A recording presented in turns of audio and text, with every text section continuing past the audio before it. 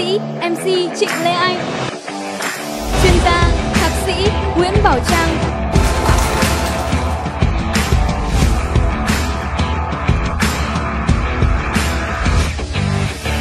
Lạm dụng nữ quyền nó có đang là hiện thực của đời sống hàng ngày hay không? Hay là nó chỉ trên không gian mạng thôi?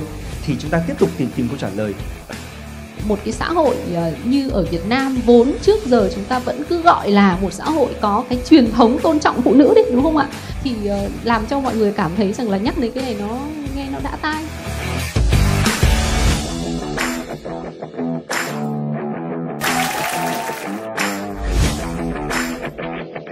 Trong cái câu chuyện của bạn Linh, tiktoker ấy, thì những cái người vào mà bài xích bạn Linh rồi mắng mỏ bạn Linh, tất nhiên bạn Linh là nạn nhân của tấn công mạng rồi nhưng mà bản thân những cái người mà ta cắt nghĩa cái nguyên nhân hay là cái động cơ của những người mà bài xích bạn Linh cũng là bởi vì họ cũng quá khó chịu với cái từ nữ quyền đi.